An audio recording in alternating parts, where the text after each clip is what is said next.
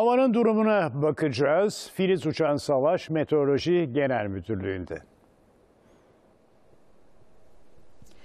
Can Okanar artık Kasım ayını neredeyse yarıladık ve kış ayına girmek üzereyiz. Ancak hava sıcaklıkları henüz yurdu terk etmiş değil. Peki acaba kış gelecek bir kapıda mı? Yağmurlar ardından gelecek mi? İşte bunları öğreneceğiz. Meteoroloji Genel Müdürlüğü'ndeyiz. Yanımızda hava tahmin uzmanı Cengiz Çelik var. Efendim hoş geldiniz öncelikle yayınımıza. Kasım'ı neredeyse yarıladık artık ama gördüğümüz kadarıyla hala güneşli yurdumuz.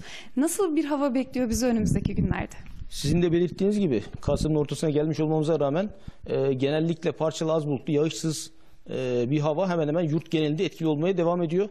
Bu önümüzdeki en azından 4-5 gün daha bu şekilde seyredecek diyebiliriz. E, özet olarak bu şekilde özetleyebiliriz. Bugünlere bakarsak bugün için Doğu Anadolu'nun doğusunda yağışlar göreceğiz.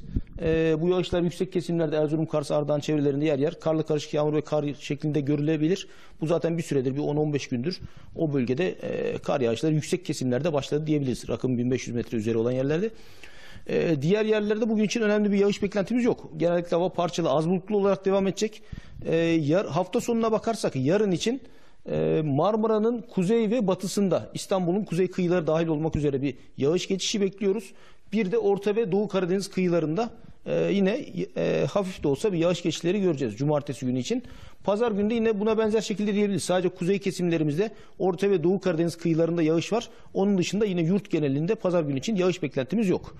Hocam peki e, hava sıcaklıklarına ve yine e, baktığımız zaman herhalde şöyle detaylı izleyicilerimize paylaşsak daha da güzel olur. Herhalde düşük bir hava sıcaklığı görüyoruz. Şöyle aslında mevsim normalleri civarında diyebiliriz. Şu anda İstanbul'u görüyoruz. En yüksek sıcaklıklar 18-19 dereceler civarında ve önümüzdeki hemen hemen bir hafta boyunca daha bu şekilde devam edecek diyebiliriz. Sıcaklıklarda önemli bir düşüş beklemiyoruz. Ee, İstanbul tabii deniz kıyısı olması sebebiyle gece sıcaklıkları da çok fazla düşmüyor aslında. 10-12 dereceler civarında seyretmeye devam edecek. Önümüzdeki hemen hemen bir hafta boyunca diyebiliriz.